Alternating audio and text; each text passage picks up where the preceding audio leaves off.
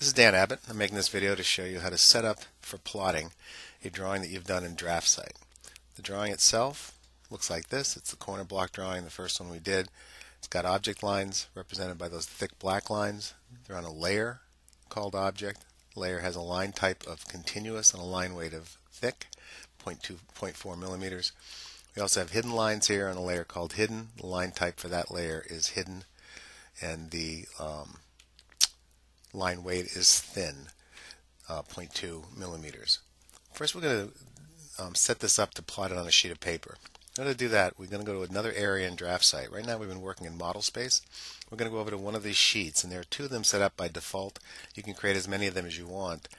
But if I pick the sheet 1 and go over, we're looking at a default size sheet of paper with a window showing us the model that we created in model space. Go back to these tabs. This is the model space tab. That's where we started. That's where all of your geometry should be created. When you're ready to lay out the geometry that you've drawn, and before putting dimensions in, go to one of the sheets, and now at this on this tab, we need to decide what size paper we're going to plot this on, what plotter will be used to plot it, as well as what scale we want the drawing to plot to. To assist you in creating or completing these uh, these dimensioning and plotting assignments, I've created a couple of files that I put on Blackboard. So if we go over to Blackboard, we're looking now at the references area. It's over on the left hand side under references. Um, in that area, I put the technical graphics overview. That was the PowerPoint that I used that started off the class with and that I'll be using again. That is a summary of the rules for um, placing drawings for view placement as well as for dimensioning. There's a, a, sketching sheet there that you can print out. The Technical Graphic Standards Manual that we use at Southern Maine Community College is there as well so that you can use that as a reference for the way things should be laid out in a drawing. There's a DraftSight Getting Started manual which is helpful to you in terms of using the software. Then I have four title blocks that I've created in place there that you can use for this assignment. An A size, which is 8.5 by 11 set up for using uh, use in inch drawings, drawings done in inches. Another A size, 8.5 by 11, set up for using millimeters. A B size, which is 11 by 17, set up for using inches. And another B size for metric. It's also the same size, 11 by 17, set up for millimeters. There's also a uh, document called SOLIDWORKS Shortcut Keys. You'll need these title blocks in order to complete the drawing. But in order to help you understand how to do that, if we go over to the assignments under unit assignments, go to unit 4. In unit 4 there are a number of documents. One of them is a document showing you how the corner block should look when it's dimensioned. So when this is completed, this is what the whole thing should look like. You should have a title block. This is a sheet of paper. title block should have um, corner block is the name of the drawing, and then it has the University of Southern Maine, and other information should be filled in as well. The drawing itself I did move, I think I moved some of the views a little closer together, but that's what the dimensions should look like. And when you place these dimensions, you should do the same thing that you see here. The first dimension placed on a part has a larger gap between the part and the dimension than each of the subsequent dimensions has to each other. That spacing is important. It's required by the ASME standard so that it's easier to interpret drawings. And I want to see that done this way on this drawing. You also have center marks. The center marks have extension lines sometimes that are used as extension lines. Very common. Circle down here. The center is extended out to indicate that it is one inch above that little shelf to the center of that circle. That's a diameter on the uh, circle itself, and diameters are almost always used for full circles. That's a radius on the corner. Radiuses are usually used for partial circles or for arcs. Over here on the right hand side we have one dimension that's spaced about 3 eighths of an inch away. The other dimensions are spaced 0.25 or about a quarter of an inch away, and that's the spacing I want to see on this drawing.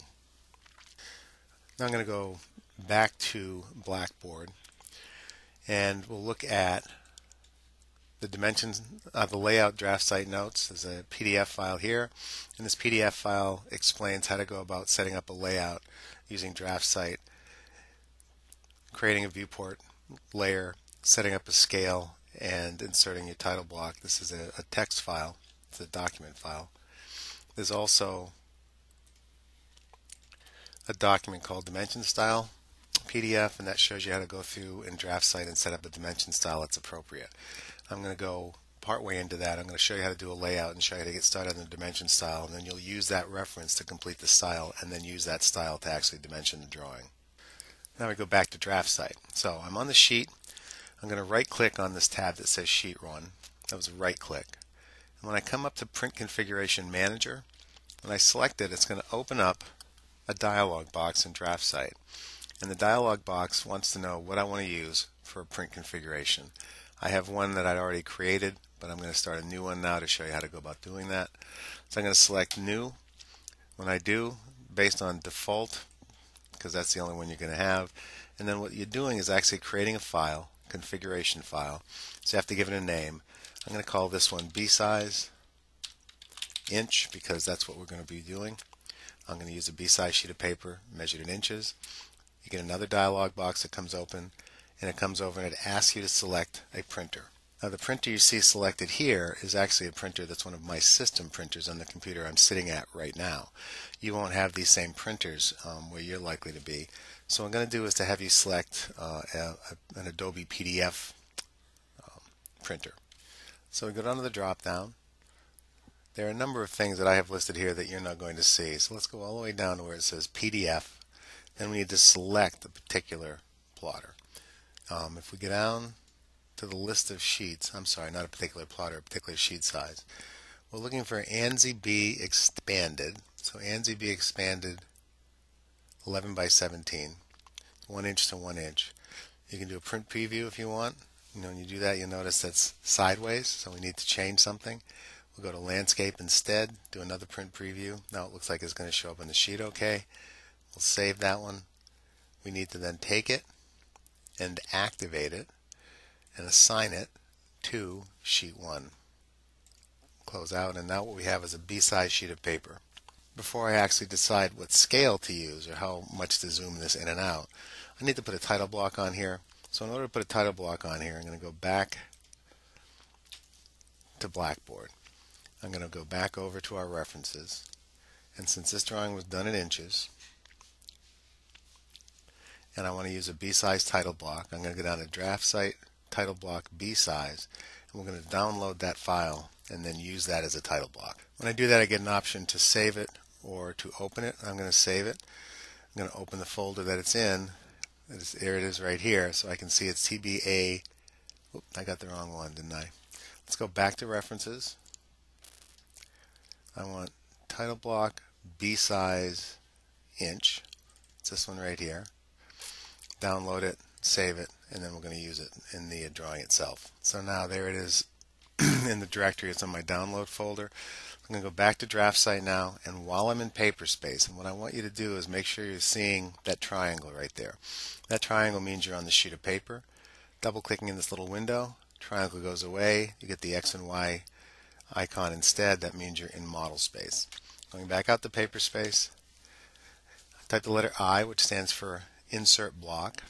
Instead of finding a block in the drawing, which I don't have, I'm going to go to the browse button. I'm going to go and find that title block that I just downloaded. It happens to be in downloads.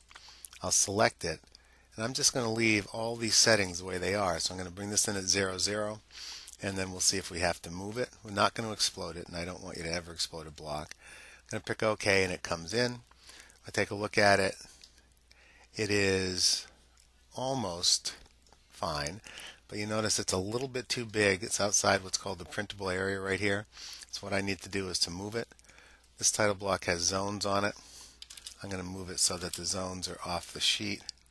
Bring it over here like that. See if that gives me enough, and that does bring it inside.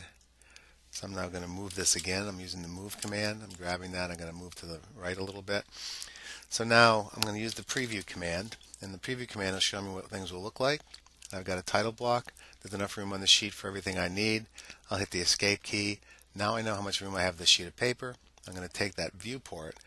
I'm going to grip the corners and I'm just going to change the size and shape of the viewport so that it fills up the available area. So that's how much space I have to draw in. I'm going to double click inside, position that slightly to the left.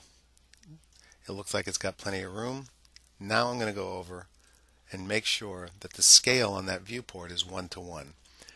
Once I know it's one to one, I'm going to go up to that little lock button right here and I'm going to change it from no to yes.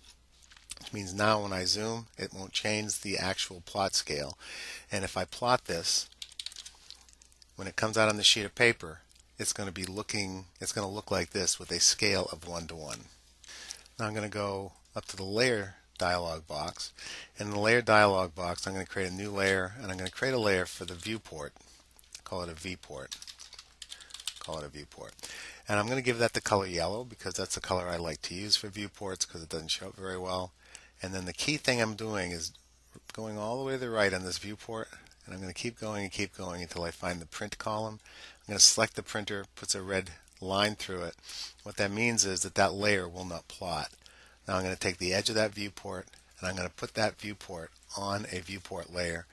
Now that yellow isn't, doesn't show up very well, but it does give me something I can select. My viewport's on the right layer and now what I can do is start putting dimensions in after setting up a dimension style. We're going to cover that next. I'm going to stop this video and then add the dimension style by picking this up